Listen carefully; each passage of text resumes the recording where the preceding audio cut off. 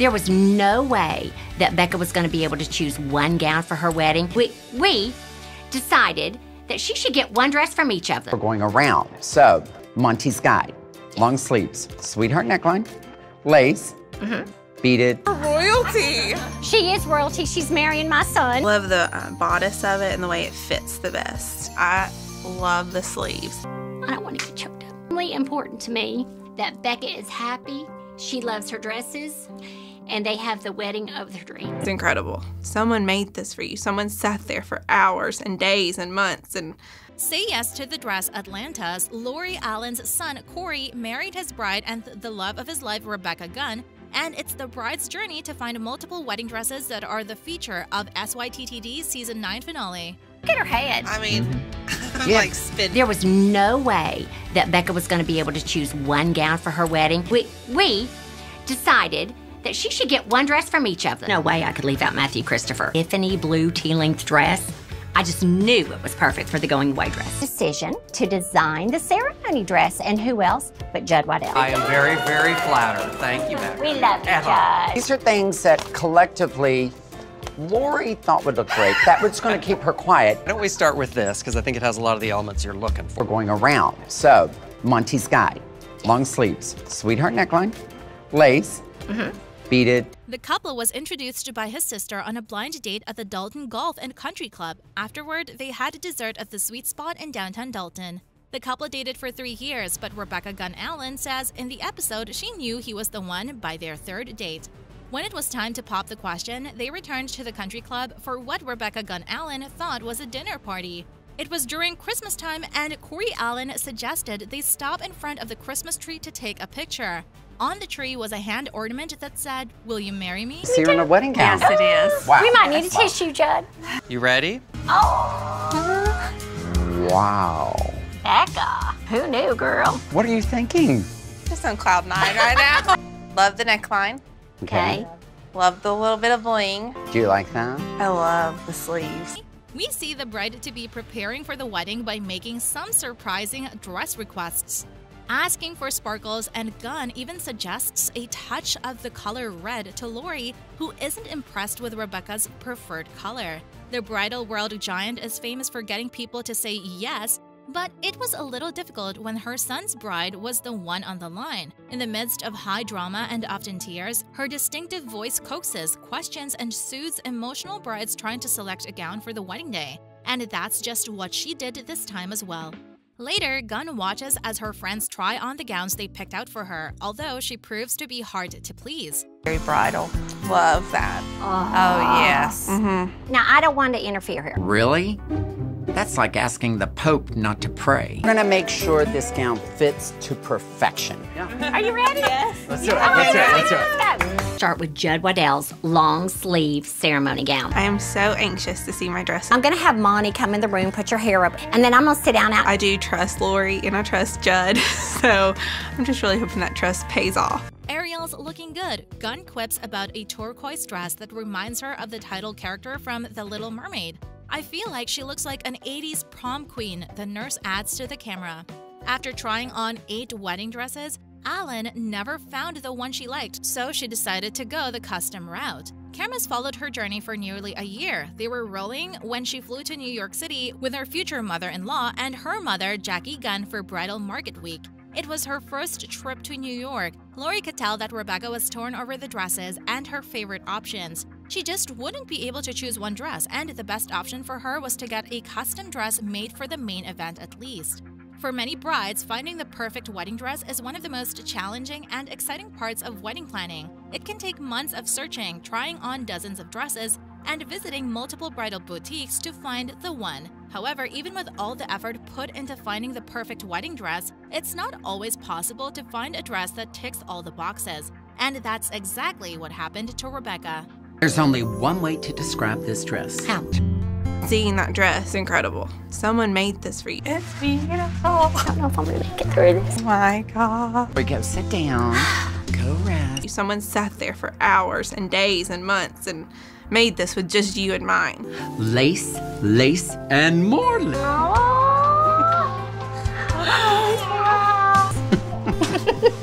This is where the option of opting for a custom made wedding dress comes in, but even that option has a ton of difficulties that come with it. It can be difficult to find a dressmaker or designer who is capable of creating the vision the bride has in mind. This can involve searching for someone who has experience with a specific style of dress or who has a similar aesthetic to the bride. Creating a custom made dress can be time consuming and requires multiple fittings. The process of creating a custom made dress can take several months, and the bride may need to attend multiple fittings to ensure that the dress fits her perfectly. My god. Oh my god. Eating. It's beautiful.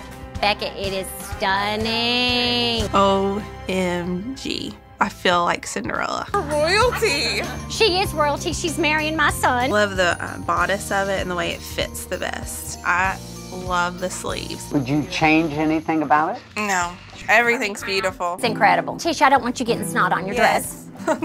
Judd Waddell outdid himself. I mean, I am freaking blown away. It has little teeny weeny Swarovski crystals head to toe. It's understated and elegant. Next up, the reception ball gown. Oh, I love this dress. Opting for a custom made dress can be more expensive than buying a dress off the rack.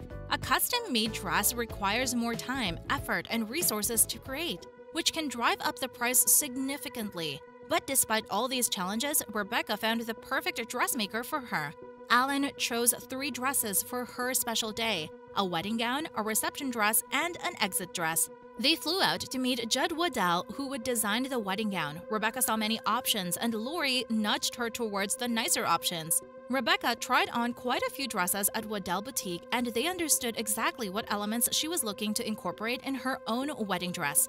The end design for Allen's wedding gown featured long lace sleeves and a portrait neckline. The entire gown, including the long train, had hand applied Swarovski crystals. As a personal touch, Alan carried her great grandmother's handkerchief, with her grandmother, mother, and sister's wedding dates embroidered on it and laces from their wedding dresses attached. They just couldn't believe how beautiful her dress actually was, and even Lori was left with her mouth hanging open. All she could say was that Becca looked absolutely stunning. Everyone from the family agreed that Waddell had outdone himself with the wedding gown, and there wasn't a single thing anyone would change about it. It was simply perfect.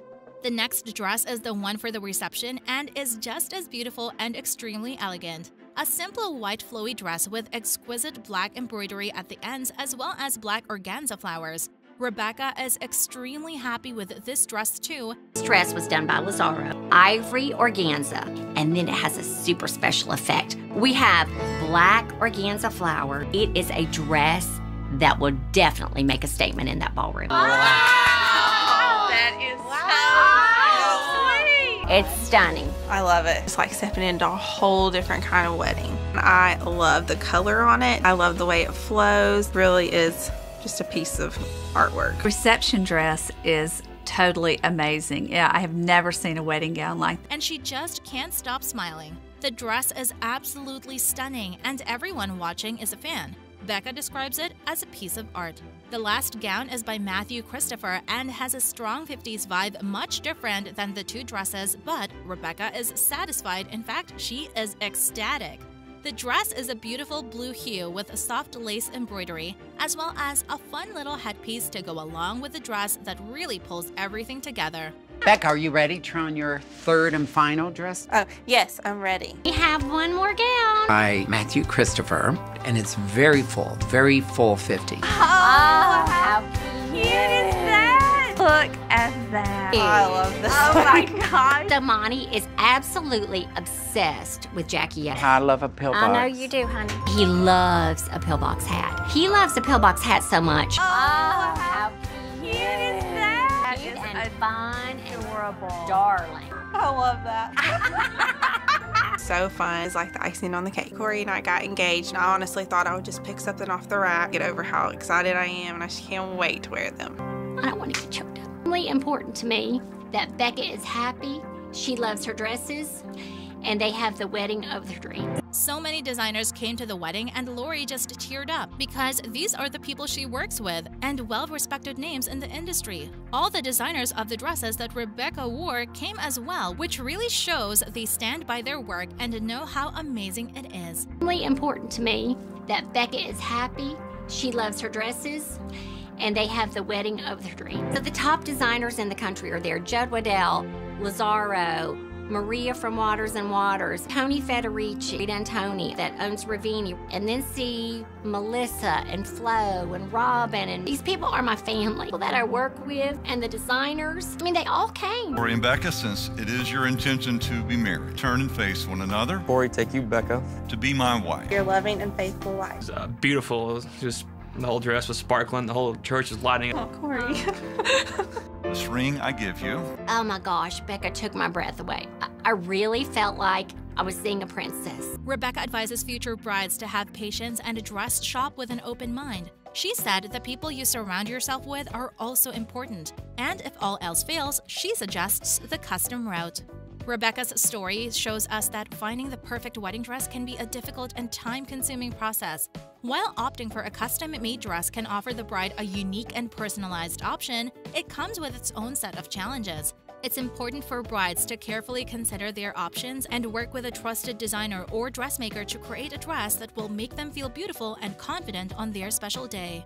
A custom made wedding dress allows the bride to create a dress that is unique to her style and preferences and might just be the perfect option for some brides. I feel so calm because I know in my heart this is the right thing. I'm meant to spend the rest of my life with this man. My favorite part of the reception was probably the first dance. We'd practiced just a couple times. I thought we were professional dancers I had a choreograph. Nope, we did it like the night before. Cake, oh my God. That cake was incredible. Love, love, love the cake. It just really makes a statement, just came together, and it was absolutely beautiful. It's a nice seated dinner, and then the party started. Our goal is to have a great, fabulous time. It was great. I don't think anything went wrong. That's all for today's video. See you next time.